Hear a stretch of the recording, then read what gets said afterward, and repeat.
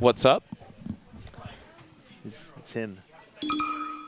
You're right. Oh my god. It's him. Go Oh talk my to God. him. Go tell him to commentate with me. Huh? Yeah. I just ask.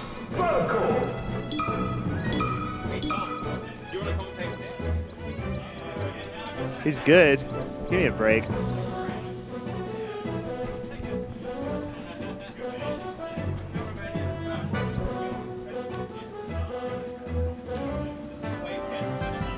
I was gonna say wave canceling.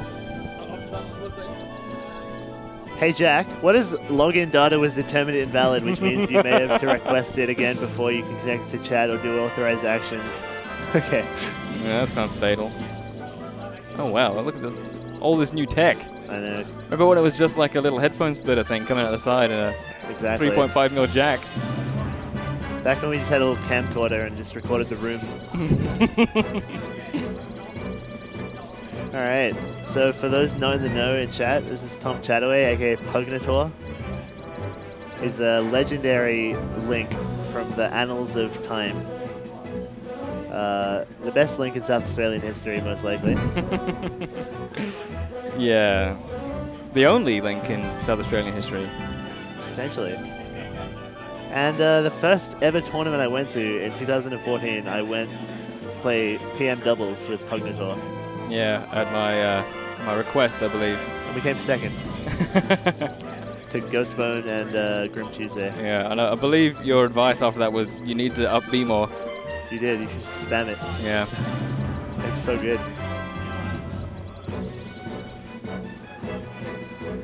You're always more of an intellectual kind of player than me. I just played on feel, and I felt you needed to up B. Yeah, I think, uh, I think that. I mean, obviously that was the objectively the correct choice. It's got a really big sword. I mean, may as well use it. Got a bag full of other things though. Anyway, so this is going to be Kai versus Ruben.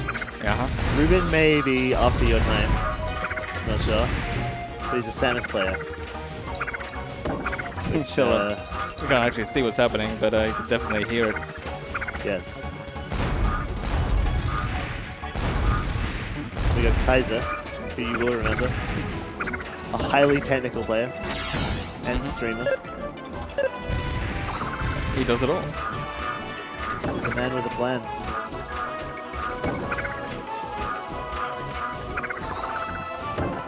So what brought you back to the, uh, the evac scene, Tom, for the people? Uh, well, you suggested it, and I thought it was a pretty good idea. That's a really lame story, isn't it? Oh, I was playing the new Smash.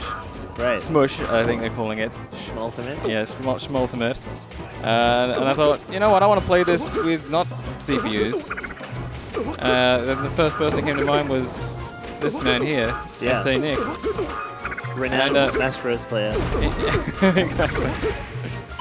He reacted favorably to the idea Yeah. and suggested I come here to reacquaint myself with all the people who are still here.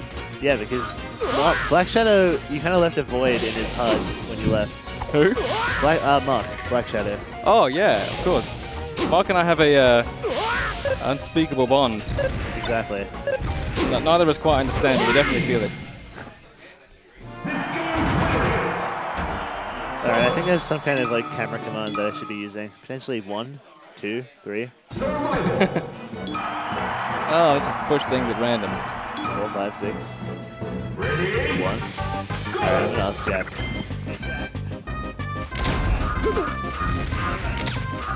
What's up, Jack?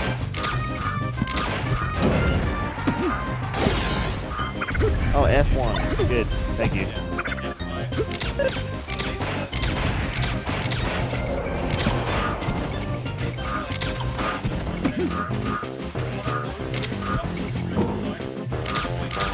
So you avoid.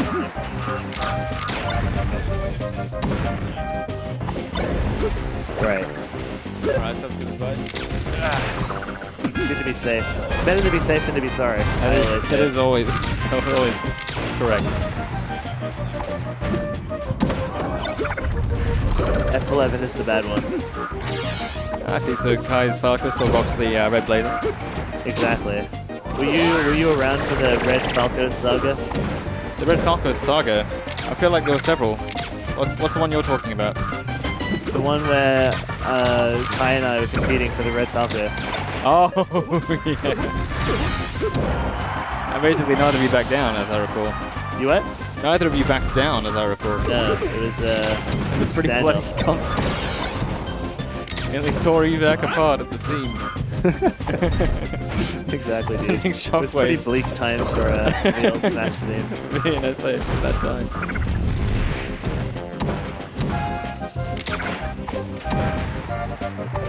That's the thing about South Australia. We've always been very cutthroat.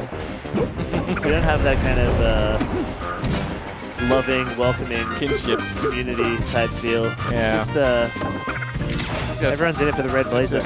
teeth and nails Exactly. and beaks. So what do you reckon uh, both of these players could be improving on, Tom?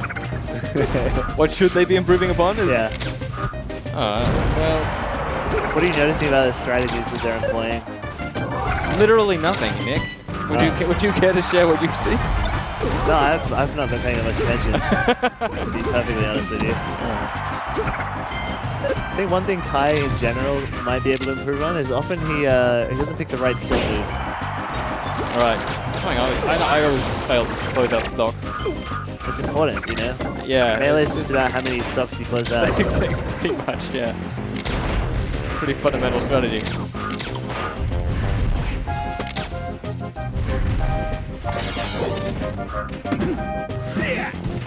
See the attempted swag from Ruben? He did like a no impact land. Usually when you land, Tom, you get impact. And the idea is to get no impact. That's you impact, that's bad. That's Why would you want impact? Can you imagine jumping from a great height and not getting impact? That'd be pretty sweet. You'd be like a superhero, like Iron Man. Samus is a kind of Nintendo Iron Man. In many ways, yes.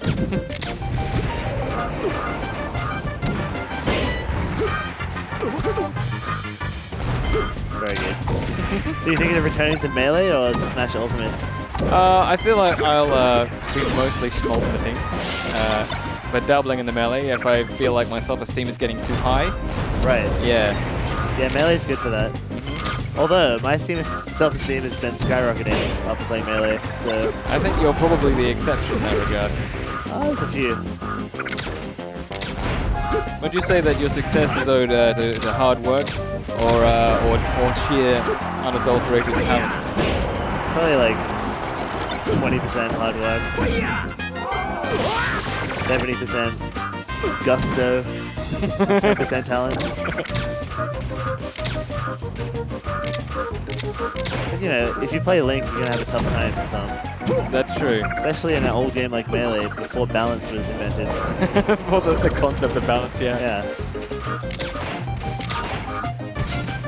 Kai's really just spacing him out. He's getting upbeat. And Ruben's got that ominous charge shot waiting in the wings. He's looking for a down smash into a cheeky read, I would say. But Kai sensibly recovers by intelligently. He's using his head. Yeah, I think Kai is fishing with some things that aren't are just like very safe but not very high reward.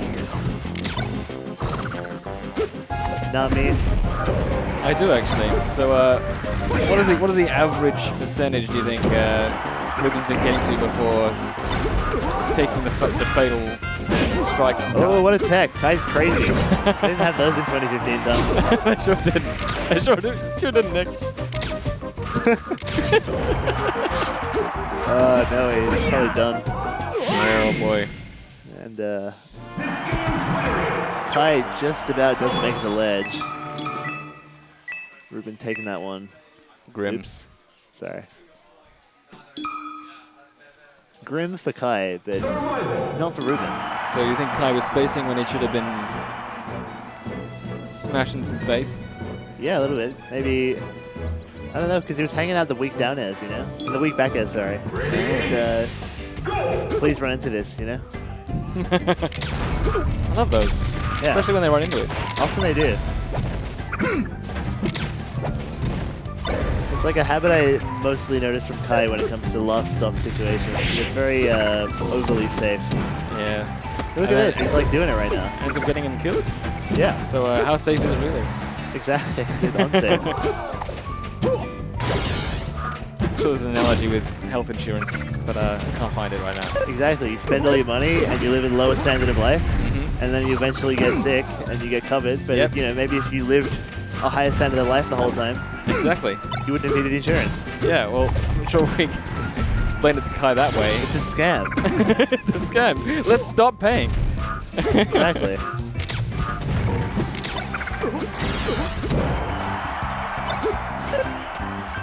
Where does the fire come from in Falco's Up B? To a lesser extent. I think he's got B. like jets somewhere. Maybe in his boots. Oh yeah. Because they are like metal boots. That's It- what no doubt know. It's, yeah, it's from the future. Imagine that kind of technology is common. Exactly. I'm sure in, you know, 2000, plutonium's as common as, oh wait, 1985? I, I forget the reference that I'm trying to make. Back to the future? I don't know. Let's just abandon it before we get too far into it. You know, Back to the Future, where he's like, you know, Marty, I'm sure in 1985 they sell plutonium in corner stores. yeah, that's right. Yeah, what age was was Emmett Brown in that movie? I don't know, somewhere between 60 and 90, I would say. somewhere, somewhere in there. I think like in the 50s he's supposed to be like 50, but he looks quite a lot older. Yeah. yeah, I don't know. Alright, so what's going on here? We've, He's been absolutely down. Yeah, this stage is very volatile, Tom. You'll you'll notice mm, because of the small blast zones. Tight and cozy. It is, and also these small quarters make it more difficult to avoid Samus and her big moves. Uh, big, fleshy moves. Yes, Forget I said that. huge, So, so, juicy, luckily, it wasn't recorded. moves. yeah. Oh, that's it. That's you hate to see. You know, if you're a Kai fan, you hate to see that kind of thing happen. Yeah. My glasses are fucking up with tears right now. Yes. But yeah, I don't know Ruben. So uh, maybe, maybe I feel feel happy. If I felt happy for Ruben in an equal amount I felt sad for Kai, I'd be mostly okay. Only one of your lenses would be fucked up. exactly. Be half full. Yeah. I tend to go for Kai in this because uh, I like both these players, but I feel like Falco is like higher risk maybe in the matchup. You like to go for the underdog. So he has to do, even though like he probably wins the matchup, it's like harder. You know what I mean? He has to work a bit harder, Yeah. and that does lead to uh, those high, high effort scenarios where you can really see that they're putting the effort in. True that, man.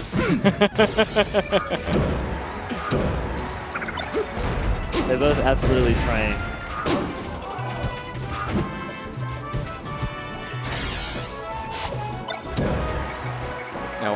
Should Kai have punished that hard? Who knows, man? So would you say your work as a programmer for the defense industry has helped you appreciate anything more about Smash? Has given you any skills that you could, uh, I'd say uh, it has given me literally nothing I can work with in the Smash scene. oh, Uh, nothing I could apply at all. Uh, I mean, on a general level, I suppose uh, it's affected my ability to uh, apply myself and, uh, and problem solve. So maybe that could tacitly improve Right. my game. it could, absolutely. Just trying to fill out your, like, melee player resume right now. Well, actually, that's how we actually decide sets now. We don't Oh, just really? play, we just exchange resumes. oh yeah, well that makes sense. Whatever should win Yeah. gets the, It's, tw- it's 2018, nearly 2019. That's the way we should be doing things. exactly, it should be merit-based. We're saving time. These things can take, you know, up to 10 minutes. Yonks. We've got simulations that could do the same thing, basically. Actually, I read a book recently called um, Performance Thinking, uh, Mental Skills uh, for the uh, High Performance Road. And uh, there's a lot of sound logic in there Is that that I like a think. crime thriller or... yeah. Uh, and you, you apply you can apply it to any any uh, sphere where you need to perform. For example, sport or e-sport. Right. Uh, and it's actually really good. And uh, I think it's at least improved my game in other video games that I play. So uh, maybe that'll help here as well. I think it will. And you know, we're starting off from a fresh uh, slate, you know, Yes. Smash Ultimate. But I'm older, so my hands are probably worse. Yeah, but you're ex- you're wiser. and You're experienced That's always, melee, that's always trade-off. Yeah. all of the games.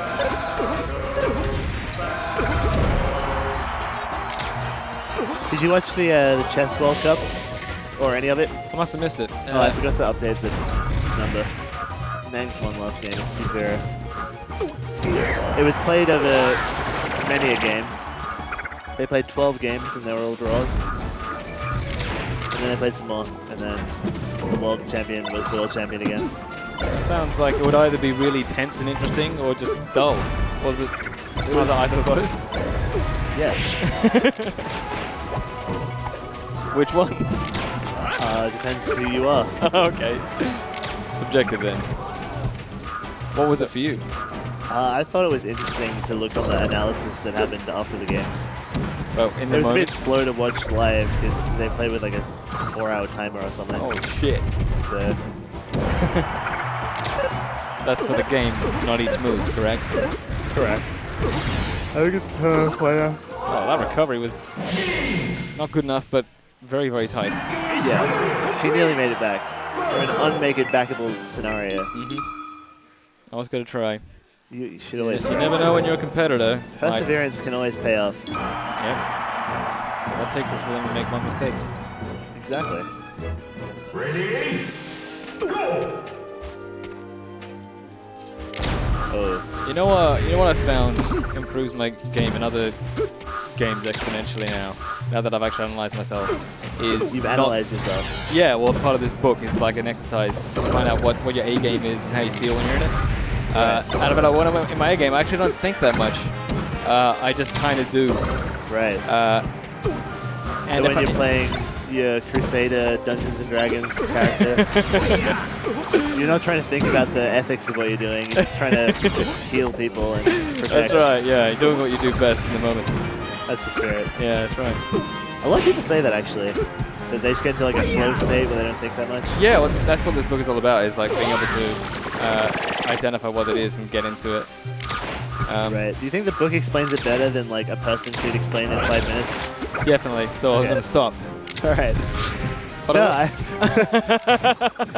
I'm not suggesting that you stop. I'm just asking whether the book is like you know justifies its it's, existence like- as a book. it's not that. It's not a drastically long book.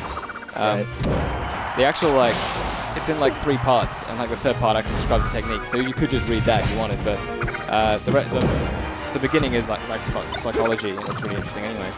Well, that's unfortunate from Kai. He got upbeat and just died. Oof. When that happens, you just you don't feel so good.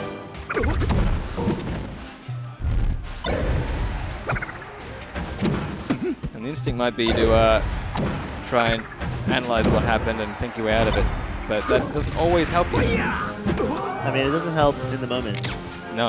and it's not really. Some situations they're just kind of janky, you know. Yeah. Stuff happens. Yeah. Can't really learn from it. Just Yeah. gotta move on. You make a mistake. Why did that happen? Because my hands went to the wrong to the wrong place. You know. Pretty much. Yeah. It can happen to anyone, even when you're not thinking. Uh huh.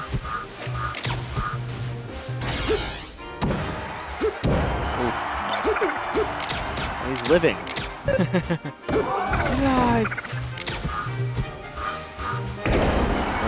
Oh, get well timed. absolutely shot. He just died Wow. right out of his safe back air. Oh, even locks can be picked, Nick. Exactly. Even the strongest locks. Oh, he's not gonna kill him. Oh no. He tries to be fancy. Oh. oh. Looking bad. And he's still out his kill quickly, and he knows it, which may be a problem, you I think that's gonna, yeah. The more you think about results, the harder it is to perform. Is that from the book? Of course. Yeah. See, I've always found those books to be unhelpful. Like the inner game of tennis. I'm like, a lot of people love that book, but um, I don't know. I just feel like it's very uh, new agey nonsense. That's what I thought this one would be, but it's actually helped me. Like I have actually improved, so there is something in it. Yeah. To each their own. Maybe I already have the perfect mentality, you know? well, yeah. Um, some people actually do, and The, uh, the author of this book is a psychologist, and he's and he studied studied these people and asked a bunch of questions, and it really informed their uh, their method. All right, speaking of method, how is Ruben going to get this edge guard? He's not. And Kai- oh my, Yeah. Kai's slip sliding all over the place. You ever seen a wave dash like that, Tom? Well, not not without water, and there is water here. I don't think the water actually makes a difference. Really? It's a myth. Oh no, it's just a myth. It's just all psychosomatic. Exactly. And he's living. Kai. He's got one shot. Mom spaghetti, as ever. Oh, he got shot. And uh, Ruben takes it pretty clean. 3-1. Kind of won't be too happy with that. These guys go back and forth, so it's always a bit painful for whoever loses. Yeah. That's life, man. How long has Ruben uh, Winner been on the scene? Uh, probably like since just about when you left. So uh, for a while, people thought that I could have just changed my appearance and come back as him. Yes. But now we're both here, and that's completely out the window. Exactly. That whole theory has been debunked. Wow, that must be disillusioning for certain people. the people who believe that will be shocked. Hold on.